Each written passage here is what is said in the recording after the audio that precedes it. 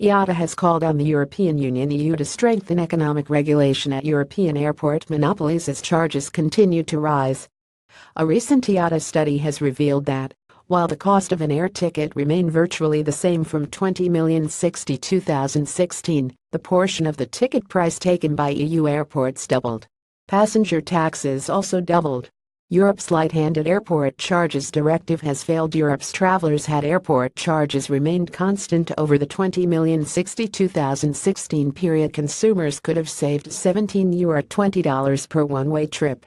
IATA estimates the saving could have generated an extra 50 million passengers, unlocked 50 billion euro $58.7 billion in GDP, and created 238,000 jobs. Europe's light-handed airport charges directive has failed Europe's travelers and its own competitiveness by letting airport charges rise, said IATA Director General and CEO Alexander de Juniac. Tighter EU regulation is needed to stop airport monopolies from taking money from the pockets of travelers to reward investors.